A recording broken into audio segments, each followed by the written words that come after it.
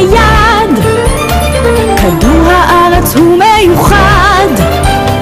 תראו את השמיים הם מדהימים. תראו את השדות הירוקים. היפים הכל מלא בחיים. שאותך ואותי הם עוטפים. גולשים מפסגות ההרים הגבוהים. ההרים שמכוסים בשלגים. אז איך נחזור את מה שיש לנו סביב.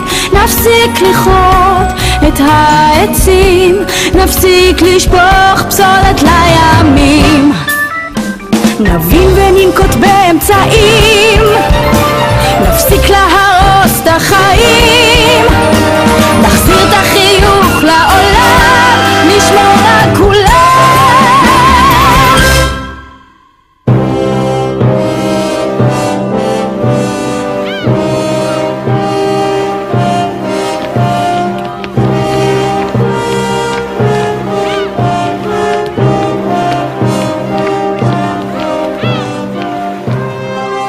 רואים? ככה זה בכל שבוע. אבל אסור להם לעשות את זה! זה אסור על פי חוק! אני צודקת? זה מווסת, זה נכון. אבל אנחנו היפנים קצת יותר מתוחכמים. אנחנו צדים לוויתנים בשם המדע והמחקר, וזה מותר בחוק. אבל אתם לא צריכים להרוג אותם בשביל זה. אה, יש דרכים אחרות, או אולי רק לוויתן אחד, לא יודע אם זה ממש הכרחי. אנחנו כולנו יודעים את זה, אבל הבשר הזה יגרום אושר להרבה מאוד אנשים. הוא יימכר בסכום יפה. לכן אנחנו מרמים. זה ממש נורא! ורק לחשוב שהלוויתנים נמצאים בסכנת הכחדה! נו קדימה, אני רוצה להראות לכם משהו אחר.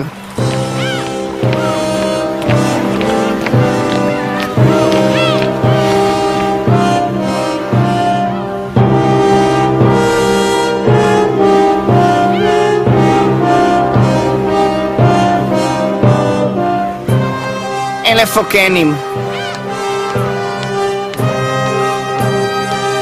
הם בטח קנו אותם בים, אולי מדייגים רוסים או אחרים. מה, דולפינים? אבל כולם יודעים שהדייגים היפנים כבר הרסו שלושה רבעים מהזנים שבים! והם גם יימכרו כמו הלוויתנים הגדולים. כנראה אין שום הבדל בטעם שלהם. אנחנו לא יכולים לעשות משהו להפסיק את זה? טוב, אה, ועדת דיג הלוויתנים ניסתה לאסור את הדייג הזה שהוא כביכול בשם המדע, אבל היפנים איימו להחרים סוגי דייג אחרים, אז הוועדה הרימה ידיים. אני כבר סיפרתי לכם שהארץ שלנו זקוקה למים ולאוקיינוסים. טוב, כיוון שאתם רוצים לדעת, אני אספר לכם איך נוצרו הימים. תראו את זה ושימו לב.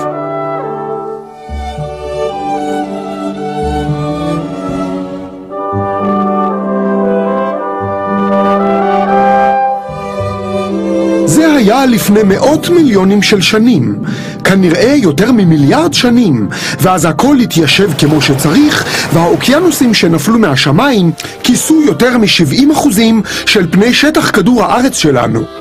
טוב, אז למה היה מלוח כל כך? הרי הגעש שהתפרצו במשך מיליונים של שנים הם הפסיקו להתפרץ בסוף, מאסטרו? מובן שלא. את יודעת שעדיין יש רעידות אדמה והתפרצויות הרי געש. ביבשה כן, אבל גם מתחת למים? אה, אותו הדבר קורה מתחת לים. התפרצויות מתחת לפני הים יכולות לגרום נזקים כבדים. תראו את גלי הצונאמי. גלים בגובה של יותר מ-30 מטרים שנעים במהירות של מטוס סילון פוגעים והורסים מרכזים שלמים של אוכלוסייה. הם נגרמים מהתפרצויות געש מתחת לימים ולפעמים בגלל תזוזה של הלוחות הטקטוניים. כל זה טוב ויפה, אבל אתה לא ענית על השאלה שלי, מאסטרו. למה המים של הים מלוכים? אף אחד לא רוצה לספר לי כלום.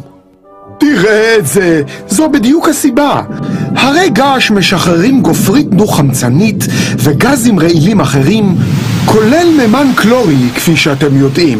הגזים האלה מתערבבים עם המים, מתאדים ויוצרים חומצה הידרוקלורית, שיורדת אחר כך כגשם. בינתיים מי הנהרות שוחקים סלעים ומשחררים יסודות שונים ובהם נתרן. החומצה ההידרוקלורית מהרי הגעש מתמזגת עם הנתרן ויוצרת מלח. זה הפך את המים באוקיינוסים למלוחים מאוד. זה הצריך המון מלח וגם המון זמן. כפי שאמרתי לכם קודם, אולי מיליארדים של שנים. אז כל המסה של המלח שהתערבבה בתוך המים בסוף למסע, ממש חבל. או, אנחנו חייבים למצוא דרך להשיג חזרה את כל המלח הזה. טוב, בעצם מצאנו דרך לפני הרבה הרבה מאוד זמן, ואנחנו יכולים לקבל חזרה כמה מלח שאנחנו רוצים. אנחנו רק צריכים למלא מלחות במים מן הים ולתת להם להתאדות. ככה נשאר לנו רק המלח, ואז אפשר למכור אותו בטונות. אתם בטח ראיתם את זה בקמרג ובמקומות אחרים. נו, נכון?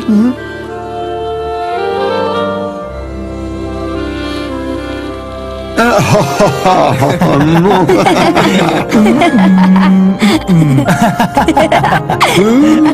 טוב, נו. אתה מוכן להמשיך להסביר לי? כי אני לא מבין. אה, כן, כן, כן, כן. או, הנה הם. הם חזרו מיפן. הם יספרו לנו על הטיול שלהם. הנה אתם, אנחנו שמחים מאוד לראות אתכם. איך היה הטיול שלכם? נו קדימה, תספרו לנו. בוא נתערב שהוא היה מסוכן. תגידו, אולי אח שלי כאן? לא, פירו מתכנן חקירה מעניינת שקשורה לחשיפת מזהמים. תנו להם לנשום קצת, אחר כך הם כבר יספרו לנו מה היה.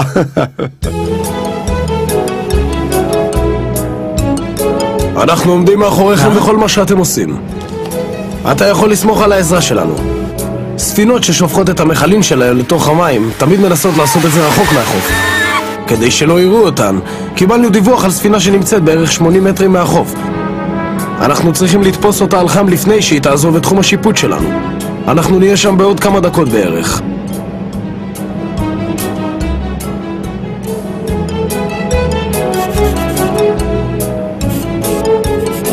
כאן אה, XXOL, אני נמצא מעל ספינה שמרוקנת את המכלים שלה. אנחנו מתקרבים אליה. זו מכלית בגודל בערך של 30 אלף טונות, דגל של איי באמה. בערך 70 קילומטרים מהחוף, 45 מעלות צפון מערב. אה, עבור? קיבלתי 70 קילומטרים, 45 מעלות צפון מערב, אנחנו נטפל בה, אל תדאג.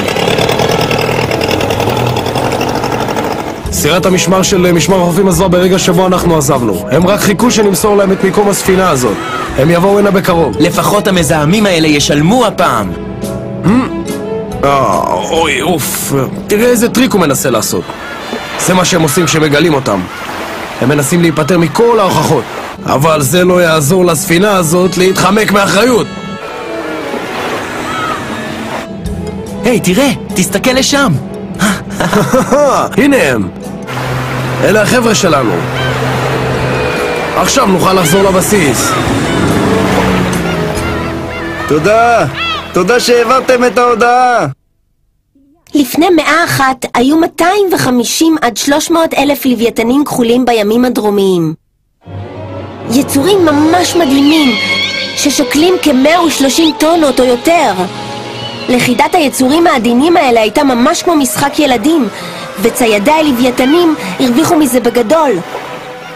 לפני 30 או 40 שנה, בימים הצפוניים שלנו, ספינות מסע של נורבגיה בלבד צעדו 30 אלף לוויתנים בשנה אחת. כמעט 100 ביום. וזה ממשיך. בגלל הצמצום הגובר של כמה זנים של לוויתנים, נקבעו בחוק מכסות, אבל מי בכלל מקפיד לקיים את החוקים האלה? שנים אחר כך נודע שבין 1950 ל-1990 המשיכו ספינות רוסיות לצוד לוויתנים ולהסתיר את מעשיהם הלא חוקיים בערפל מלאכותי. לרוע המזל, היפנים שילמו להם טוב על הציד שלהם. 80 אלף לוויתנים נשחטו אז, אף אחד לא הבין שהלוויתנים האלה היו בסכנת החדה כבר הרבה זמן. אז כמה ענקים מדהימים כאלה נותרו בעולם? אולי אלף. כלומר, שלושה שורדים מכל אלף. עבודה די יעילה, מה? ואז הם עברו לרורקלים, לוויתנים קטנים יותר ששוקלים 6 או 7 טונות. התוצאה התגלתה מהר מאוד. היו 500 אלף לוויתנים מהסוג הזה. היום נותרו בערך 20 אלף. תוך כמה עשורים 95% מאוכלוסיית הלוויתנים ייעלמו לגמרי. נורבגים, רוסים, קנדים עדיין צדים אותם, למרות העובדה שהם בסכנת החדה. אפילו באיסלנד התחילו לצוד אותם שוב. למטרות מדע ולמידה על התפריט שלהם. תירוץ שאף אחד לא מאמין לו. יש עוד זנים בסכנת החדה. הדייג הלא חוקי קורה גם בים התיכון. הכל קורה כי הכפלנו את הדייג פי 30 מאז 1930. אז מה אפשר לעשות? לא מספיק רק למחות על העניין? יש לכם איזה שהם רעיונות? אנחנו די מבואסים ממה שראינו שם, אתם יודעים. היי, יש לי רעיון. בואו נעשה בדיוק את מה שעשה פול ווטסון. פול ווטסון? מי הוא בכלל? הוא היה קפטן של ספינת משמר חופים קנדית, ואחר כך קצין שוודי. ומפני שכולם דיברו על הצלת לוויתנים אבל לא עשו שום דבר בעניין, הוא החליט לבצע את מה שהם מדברים. בעזרת האנשים שלו, הוא השית את הספינה שלו והתנגש בספינות צד לוויתנים באמצע הלילה. הוא הטביע איזה שמונה או עשר ספינות. הייתם מאמינים? הוא אפילו פוצץ מפעלים שמייצרים בהם שמן לוויתנים, ואלה שנפגעו לא יכלו להגיד כלום. אז בואו נעשה את זה! אנחנו יכולים לנסות למצוא פתרון דרמטי קצת פחות? הוא גם היה זה שצבע גורי כלבי ים בוורוד כדי שאף אחד לא ישתמש בפרווה שלהם או, הייתי מת להיות שם איתם אני, אני ממש יכול לראות את זה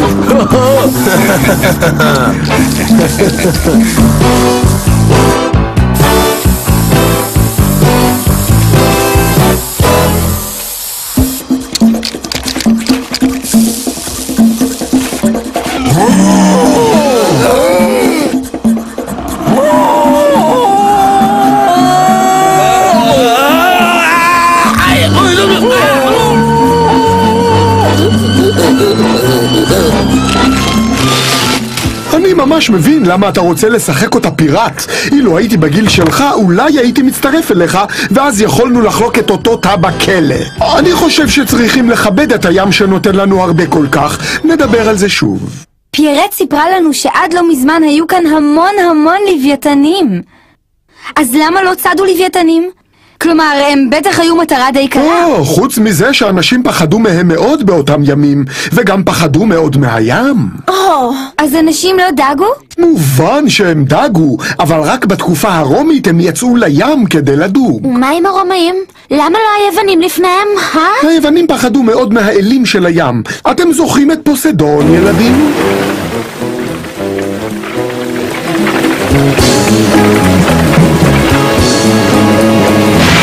שאמרתי, הם פחדו מאוד גם מהסירנות, שהתעללו קשה במלאכים.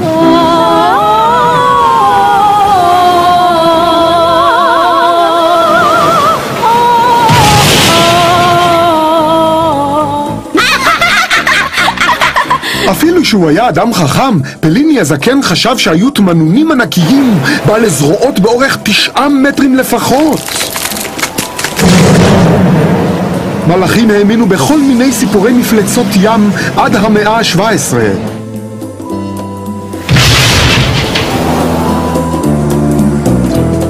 בעצם תעיפו מבט במפה מאותם ימים. והם גם פחדו מאוד מהלוויתנים.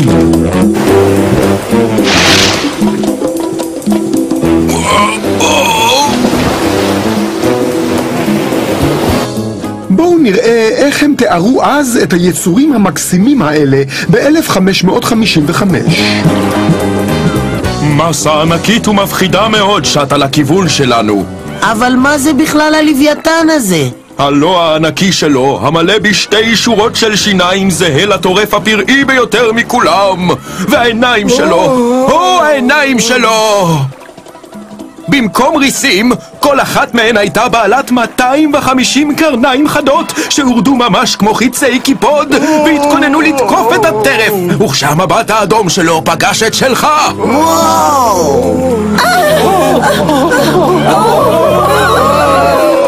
אנשים באמת התחילו לצוד לוויתנים רק לפני 200 שנים, ותראו כמה הם כבר הספיקו. תראו את הדבר הזה.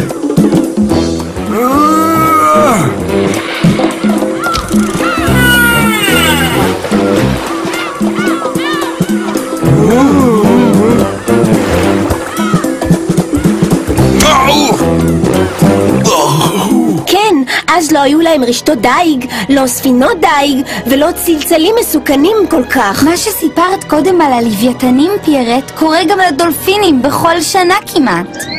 רשתות דייג לוכדות בערך 8% מאוכלוסיית הדולפינים. מ-100 אלף דולפינים שהיו לפני 20 שנה, נשארו רק כמה אלפים בודדים.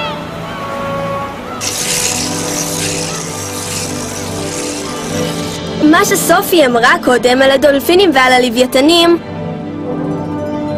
נוגע גם לכל סוגי הדגים הגדולים כרישים, טונה כחולת ספיר וגם חדקנים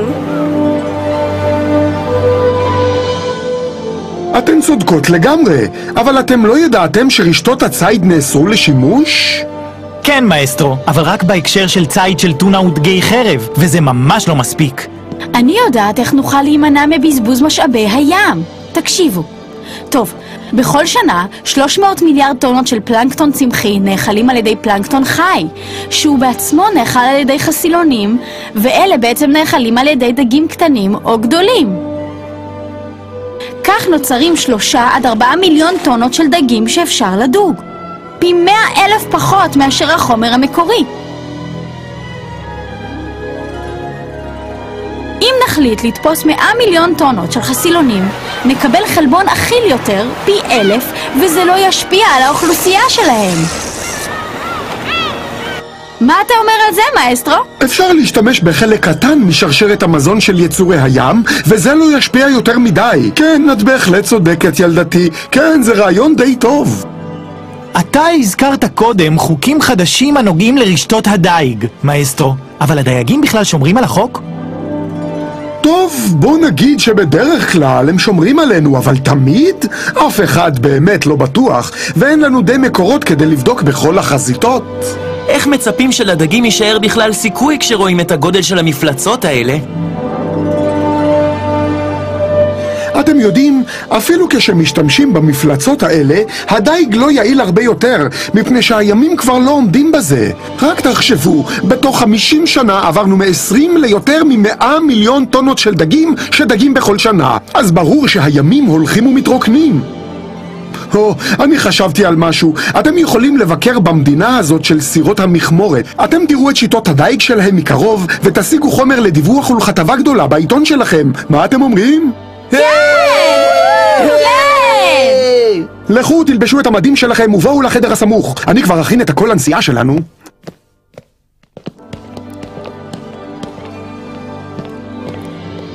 נו, קדימה, הם כבר מחכים לנו. רב החובל יודע מה צריך לעשות.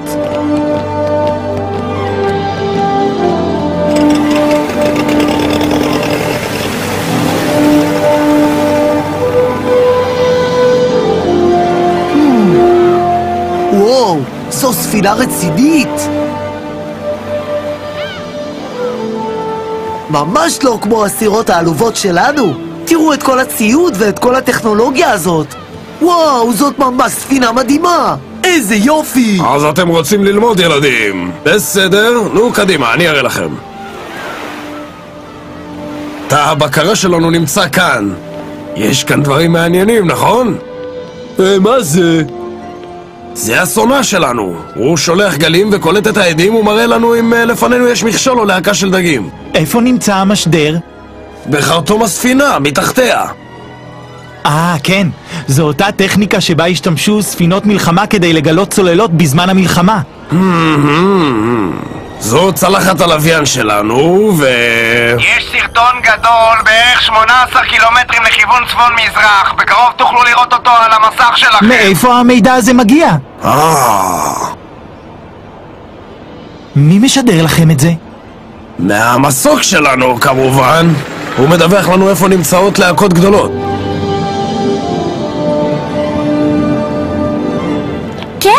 אבל כל זה יותר מדי קל. אתם בכלל לא דגים כאן, אתם מקימים כאן בית חרושת ומסכנים את יצורי הים! אתם לא משאירים להם שום סיכוי להתרבות! אה, מה אמר? כל הארגון הזה וכל הטכנולוגיה! אתם בטח תופסים כאן המון דגים, נכון? בערך 30 טונות במשיכה אחת. 100 טונות בכל מסע. טוב, בואו, בואו איתי ואני אראה לכם.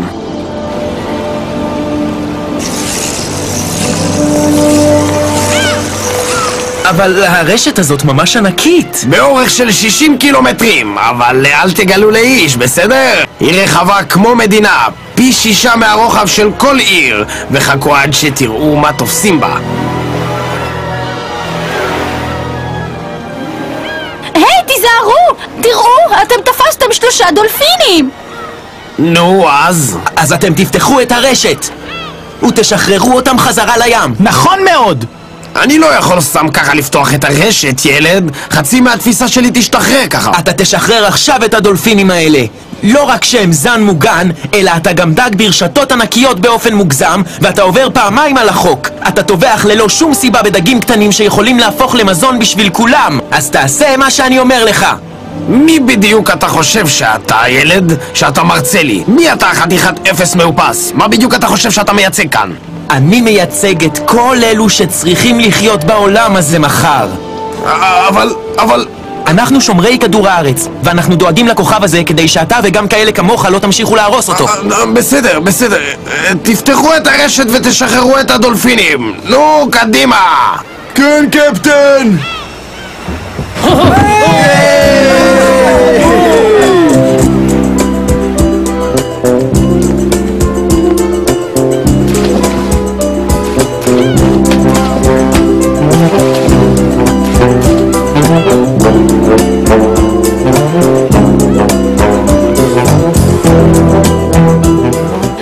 אנחנו שוחטים את היצורים של הים.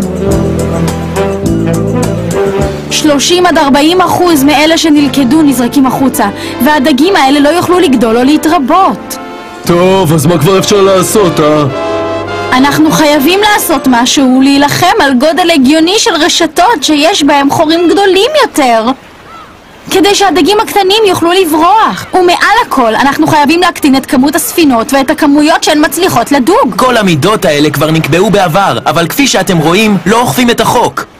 אפילו דייגים קטנים לא מסכימים לחוקים האלה, וזה די מובן.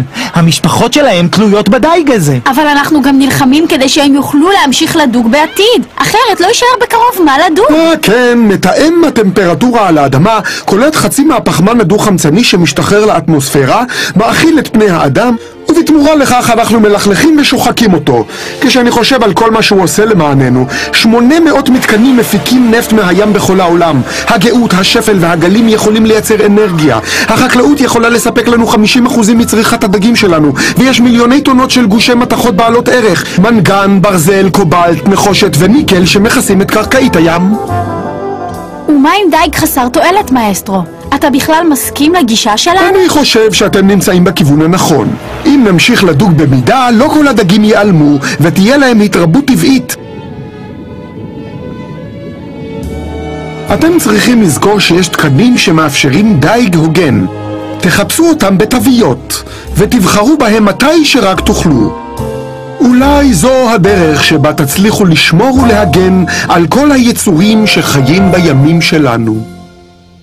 תראו מה קיבלתם ליד, כדור הארץ הוא מיוחד.